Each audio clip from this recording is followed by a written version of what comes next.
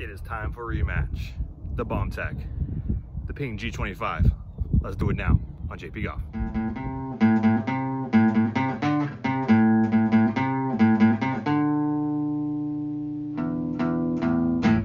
What is up everybody? Welcome back to the channel. Today we've got a rematch. An earlier video we did the Bomb Tech 3.0 driver, 10.5 degree versus the Ping G25 9.5 degree driver. The Bomb Tech, hell of more distance in it.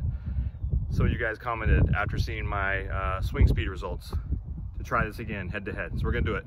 Three shots with each. Who comes out on first? As always, like the video, subscribe to the channel, give in the comments below. Who do you think is gonna win this battle? Bomb Tech? Ping. Let's find out now. Last time out, Bomb Tech was the winner, so we get to the honors. Three shots.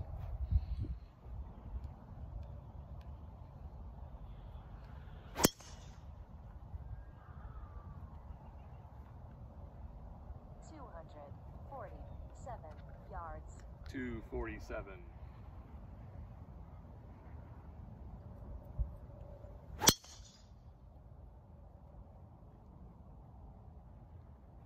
Two hundred thirty-four yards. 234.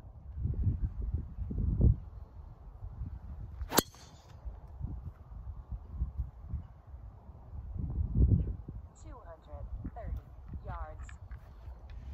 Next up, the ping.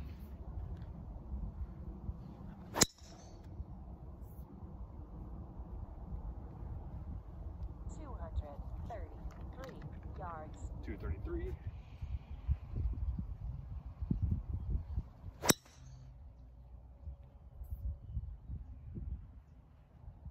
Two hundred thirty yards. 230.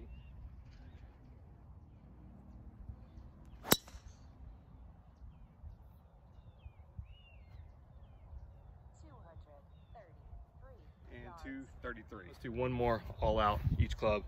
Ping first.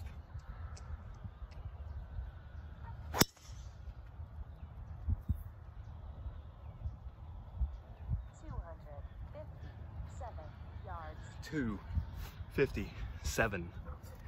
Can the bomb tech beat that?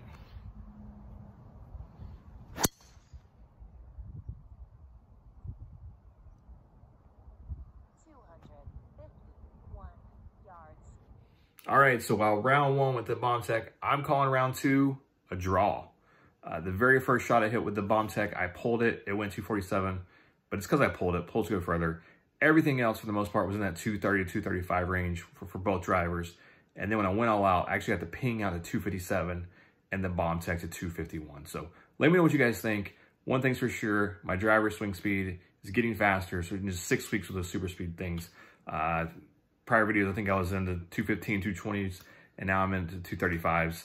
Um, and when, again, when I go all out, I'm getting over 250, which is awesome for me. So uh, if you like the video, subscribe the channel, get the comments below. Let me know if you were me, what would you play? Would you play the ping? Would you play the bomb tech? Keep it locked here till next time I'm JP Golf.